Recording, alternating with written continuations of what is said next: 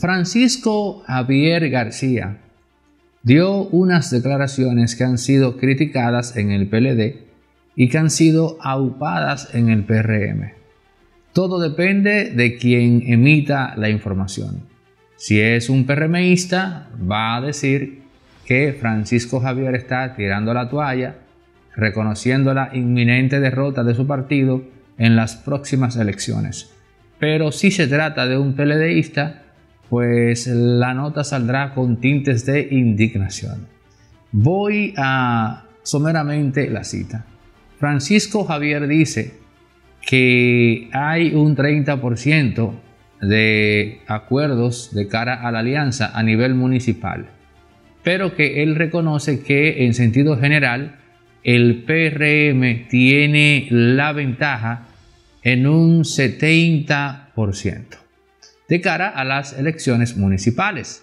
Son estas eh, las declaraciones que las sinteticé, pero básicamente es eso, que, que han sido aplaudidas insólitamente en el PRM, pero que han sido atacadas en su propio partido, el PLD. Ahora bien, Francisco Javier García es un estratega al más alto nivel y no es verdad que él iba a cometer un error de esa magnitud como muchos en el PLD le quieren ahora mismo como que eh, señalar que el compañero Francisco Javier metió la pata todo, por todo, todo lo hondo que sea posible. No, no fue un error lo que él cometió. Fue un mensaje que él envió. Lo que pasa, lo que ocurre es que ustedes no han querido ir un poco más allá, no han querido interpretar, no han querido ejercitar sus neuronas y en el PRM lo han tomado lineal a su conveniencia. Francisco Javier García lo que está manifestando, tomando como ejemplo ese 30% donde él dice que la alianza va a ganar versus ese 70% en donde él reconoce que el PRM lleva la ventaja, lo que él está planteando es que el PLD va rumbo a una derrota si no termina de pactar alianzas en ese 70% que eh, de, las, eh, de, los municipios o eh, alcaldías, etcétera, todo eso, que va a competir de tú a tú con el PLD y la fuerza del pueblo dividida. Es decir, nosotros unidos vamos a ganar en un 30% de esos municipios. Pero yo admito que el PRM lleva la delantera en un 70%. Pero qué casualidad que ese 70% en donde él señala que el PRM va a ganar, el PLD y la fuerza del pueblo aún no están unidos. Entonces, lo que él está diciendo no es ni siquiera al público en general, mucho menos al PRM lo que él está enviando de manera pública es un mensaje a Danilo Medina y al grupito que no quiere la alianza en el PLD. Y les está diciendo a ojos y oídos de todos nosotros que tiene que terminar de concretizarse esa alianza en un 100% para que el PLD y la Fuerza del Pueblo puedan darle batalla al PRM. No es otra cosa, señores. Esto también puede servir literalmente como un ultimátum para Danilo Medina. Porque tenemos que decirlo. Danilo Medina y su grupito son los, eh, los, eh, los, las piedritas, no, las rocas más bien, las rocas en el zapato para que esa alianza culmine. Una alianza que hasta ahora, hay que decirlo, va manga por hombro. Una alianza que lo que usted puede ver de ella es como que, eh, como que se, pactó para tener al enemigo más cerca y así poder disponer de él. Una alianza que si las cosas siguen como van y con todo lo que he escuchado, esta gente terminará haciendo un papelazo. No dude usted que esa sea otra razón u otra de las razones por las que Francisco Javier dijo esto no pertenecer él al grupito que quede en ese papelazo. Y si el asunto sale mal, después él tener constancia de que él advirtió de que no iba a bastar con ese 30%, sino que la alianza tenía que incrementar para tener una mayor posibilidad de ganar en otros lugares. Así que no es verdad, señores, que Francisco Javier iba a saltar con eso, dije por error, me equivoqué, se me fue. No, no, no. Ese es un estratega, hay que reconocerlo. Nos caiga bien o mal, pero Francisco Javier es un estratega. Y es uno de los cerebros que más sabe de alta política en el PLD y el país. Hay que reconocerle eso a ese señor. Cuando yo vi esas declaraciones y comencé a escuchar a la gente diciendo que se había equivocado, dije, no, pero espérate, vamos, vamos a poner un poquito de sangre fría a todo esto.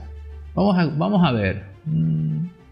Dos o tres minutos reflexionando y llegué a esa conclusión. Que sin dudas es la certera. Es la, como dicen en, en Puerto Rico, la real. ¿no? Esa misma. Señores, tenemos un nuevo proyecto, Foco Público, nuestro nuevo canal de YouTube. Entren, dejé la, el link para que entren al canal en la descripción de este video. Entran, pueden ver el material que tenemos hasta ahora y de paso se suscriben, apóyennos en este nuevo proyecto y por acá en este canal se pueden suscribir si no lo han hecho, pueden compartir y comentar este contenido. Gracias y nos vemos en el próximo capítulo. Esto es donde se cae el show, el hermano menor de Impolíticamente Correcto.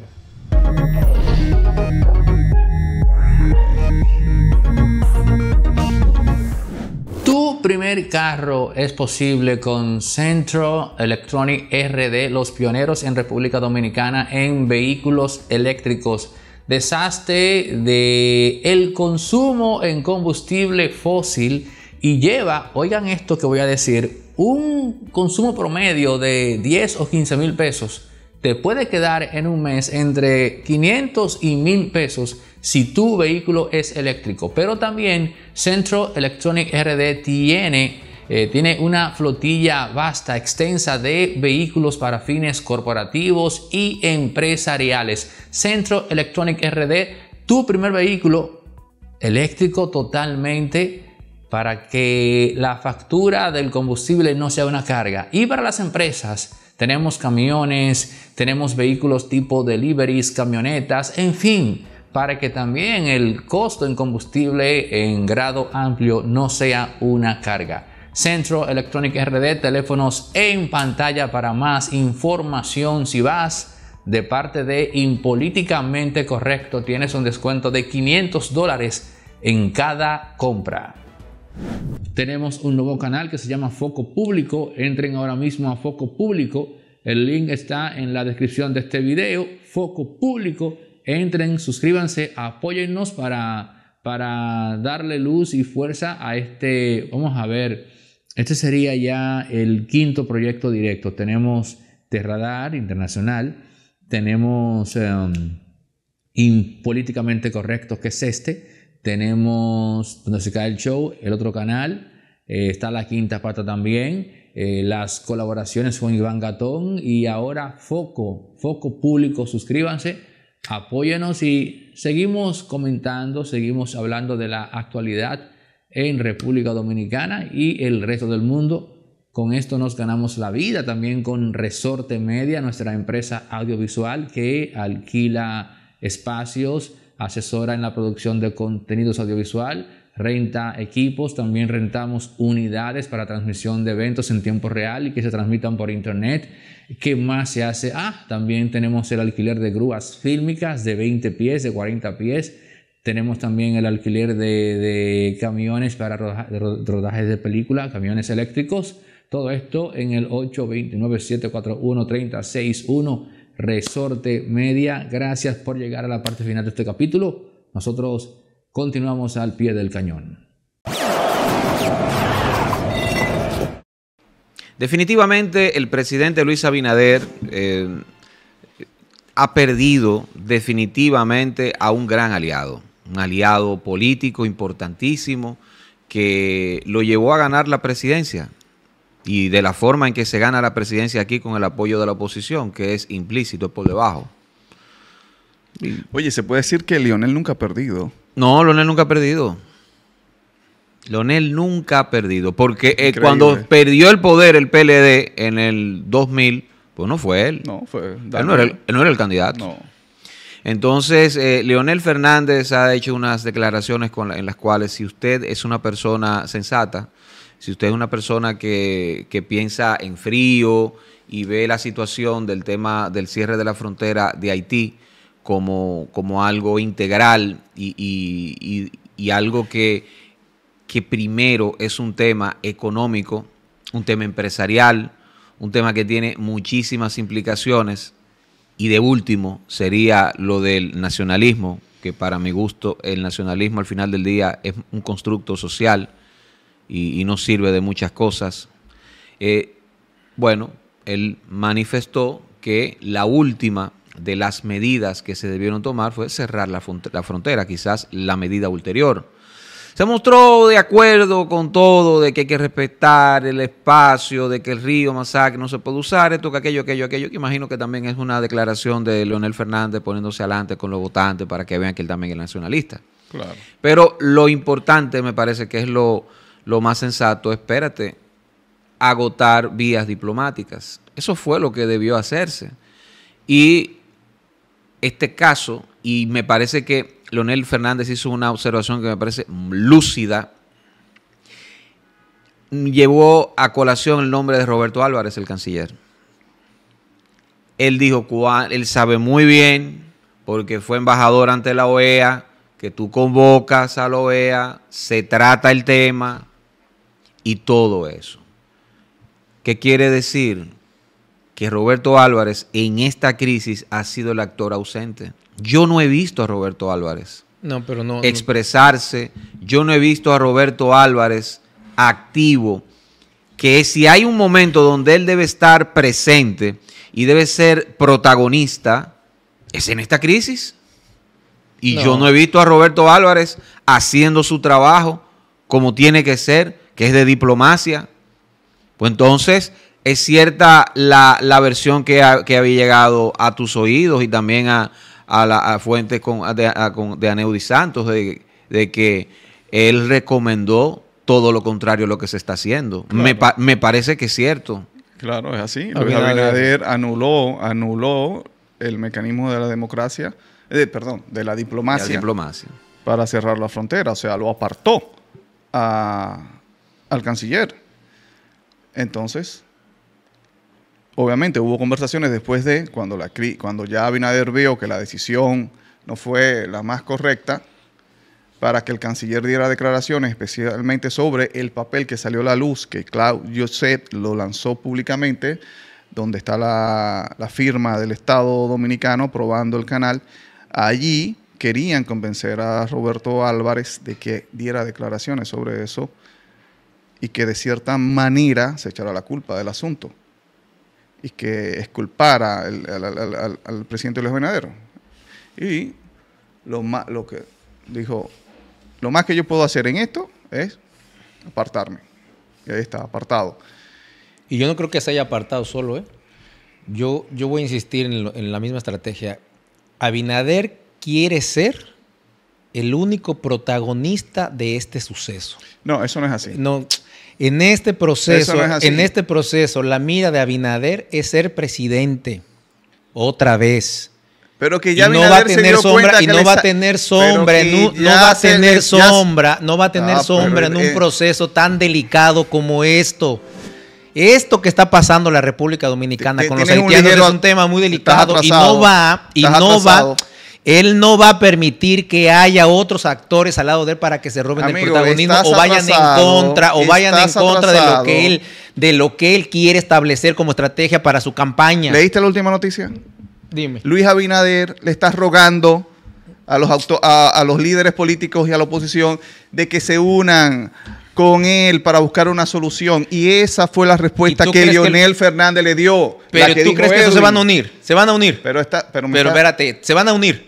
obviamente la, la oposición No se van a unir, pero, no se van a unir, pero es una parte de Ah, pero no él demostrar democrático, güey. Él, él No demostrar que, quiere que toda la clase política asuman la responsabilidad para poder Pero me estás diciendo que resolver eso, quiere pero no el quiere, único- el- pero no quiere, de sí, porque eso, es- eso sí que es una falacia política eso.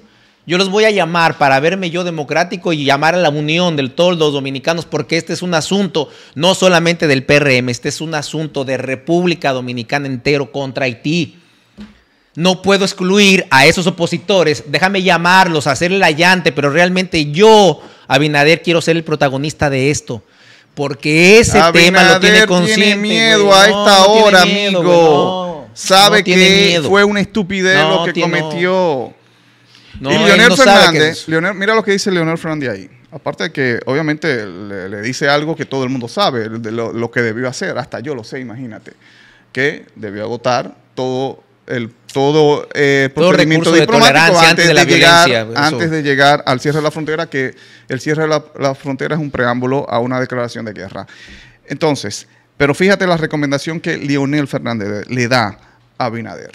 Le dice, ve al arbitraje internacional, que yo estoy seguro que vas a ganar. Es una trampa. Claro que es una Es trampa. una trampa. Al arbitraje va.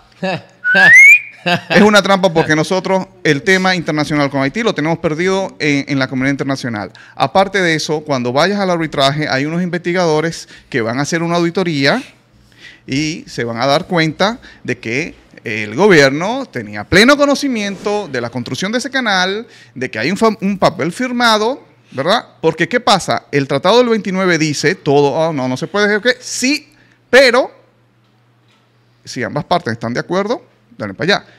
El papel del, del, del 21 es eso. O sea, estamos de acuerdo, no hay problema. Dale para allá. ¿Me entiendes? Lo van a perder el arbitraje. Pero Leonel le dice, pero va, ve, ve al arbitraje. Pero ve, ve allá, Ve. ve, allá. Acuérdate te que una de las características de Leonel es eso, es decir, el ser el diplomático y el...